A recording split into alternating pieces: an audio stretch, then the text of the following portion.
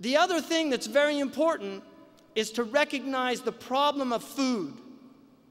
We live in a completely unjust food system. In America, because sugar can be produced much cheaper in places, they put all of these restrictions on the importation of sugar. And so Americans now are eating corn syrup produced in America and getting fat from this corn syrup. Because corn syrup is actually not a good source of sugar. That's an example, but I'll give you a worse example. The most important study that's been done on nutrition ever is the China study by Dr. Campbell and his researchers. This was a first rate researcher from Harvard, teamed up uh, from Princeton, teamed up with Oxford. He was completely credible scientist. And Premier Deng in China died of cancer of the bladder. Before he died, he set aside money to do a study of nutrition in China and disease relation.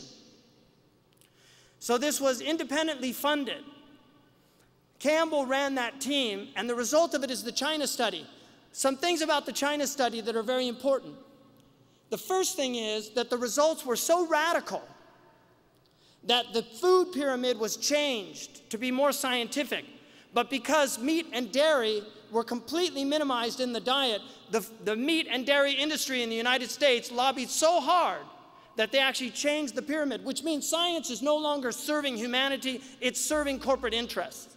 That's what it means. Science is serving corporate interests. That is wrong. In the China study, what they found is that in areas where their protein was less than 5% from meat and dairy, there was no cancer. There was no cancer. The original study was done in Hyderabad in India. And the Harvard scientists, they laughed at it and they said, oh, they must have got the cages mixed up. Campbell replicated this science repeatedly. Some things about meat and dairy consumption. First of all, the meat and dairy today is not the meat and dairy that grandma and grandpa ate. The meat that grandma and grandpa ate were free range, what they would call now organic. They, weren't, they didn't have a word for it because everything was organic 50 years ago. Organic, free range, happily raised animals on farms where they actually treated animals with some dignity. Farmers actually had relationships with their animals. They treated them with dignity. Now, and I, I, my grandfather had a cattle ranch, so I actually spent my summers on a cattle ranch, and I herded cattle, and I saw my grandfather. The first time I got on a horse, before I got on the horse, he put a, a pencil in my mouth and yanked it back really hard. And he said, That's what the horse feels when you're using that bit, so don't forget it. That was my first lesson because that's the way people taught. They had respect for their animals.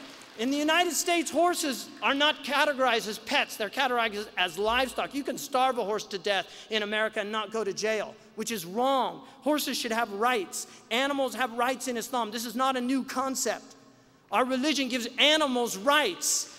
Ants have rights. In the book of Zuhud, one of the Sahaba used to go out and put breadcrumbs on the ant hill that was near his house, and one of, some, one of the tabi'een asked him what he was doing. He said, I don't want them testifying against me on Yom Qiyamah that I didn't fulfill the rights of the neighbor. I mean, this is an ant hill. What kind of psychology did these people have? It's a different world they were living in.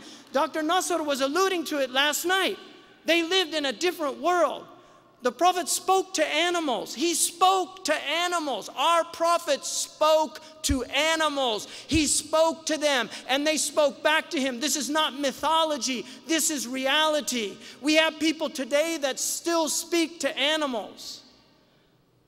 Animals respond to you, they respond to you. They're sentient creatures, they have nervous systems. They feel pain. They become depressed. In America, we have dogs and cats on Prozac. This is a fact. Veterinarians prescribe, Prozac for dogs in America. Don't think the dog is depressed because he's a dog. He's happy to be a dog. He's depressed because he's in a house that's depressing. The, the dog whisperer, the dog whisperer said, the dog whisperer said, he doesn't go solve people's dog problems. He goes and solves dogs' people problems. And the same is true for the horse whisperer, Buck. The horse whisperer said, I don't solve people's horse problems, I solve horses' people problems. animals are intuitive, they know when something's wrong. Sayyidina Omar, during his Khalifa, prohibited eating meat every day. This is a fact. Also, don't think vegetarianism is not from Islam. People say that when they become Muslim and they're vegetarian, they say, oh, you have to stop eating meat. I mean, you have to start eating meat. Your iman's not complete until you eat meat. That's what they say. And then they give them the biryani and welcome to Islam.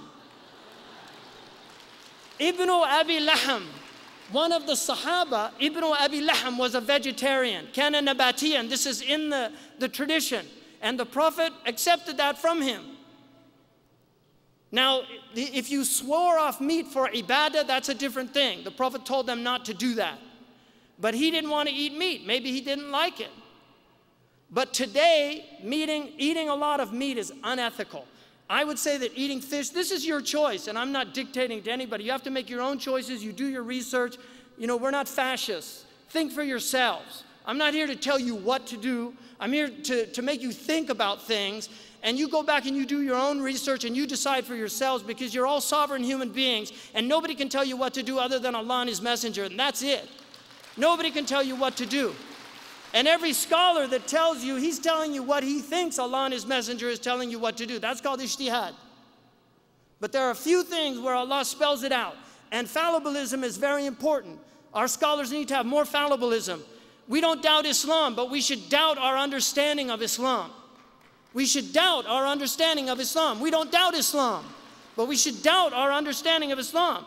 Because to, to have certainty about your understanding is to arrogate to yourself some divine knowledge that you don't have. So Sayyidina Omar said, إياكم واللحم فإن له ضراوة كضراوة الخمر. It's in the Muwatta. Beware of meat because it has it has an addiction like the addiction of wine.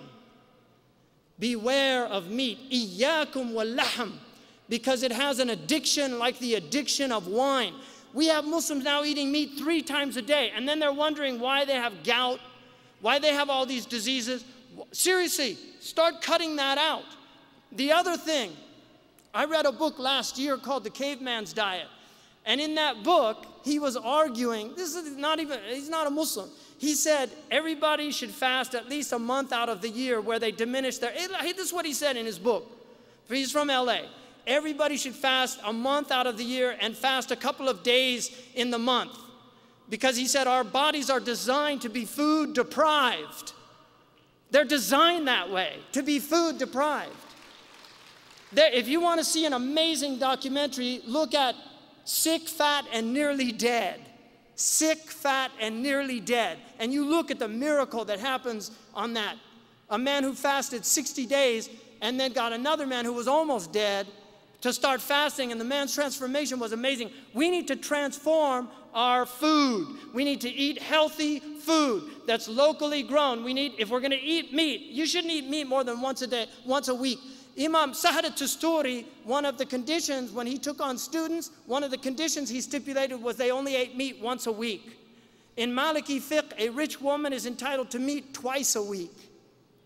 Muslims were semi vegetarians. The Prophet was a semi vegetarian. He did not eat a lot of meat. This is a fact. You can read it in the seerah. Two months they would see no smoke came out of his chimney. And they would say, What were you eating? They said, Al Aswadain. It's in the Sahih collection. Al Aswadain, water and dates. Dates are one of the most beneficial foods in the world. So, this is absolutely imperative that you change your diets. We're eating far too much processed foods. All of this cancer, one out of four people is getting cancer now. Heart disease, diabetes. 70% of people in some of the Gulf states over 40 have type 2 diabetes. 70%. They're drinking, eating all this processed food. Cancer has become epidemic in, in West Africa because they're eating all these processed foods. Eat fresh, healthy foods. Eat good foods. This is part of our religion. Allah doesn't mention food without mentioning halal and tayyib. Make your food a source of nutrition. Don't eat empty food. Don't eat too much food. Really, eat twice a day. Sahal was asked, He said, What do you say about a man who eats once a day? He said, Akul al anbiya. That's the way the prophets eat. He said, What about twice a day? He said, Akul salihin. He said, That's the way the righteous eat. And then he said, What about three times a day? He said, Build for them a trough. Build for them a trough.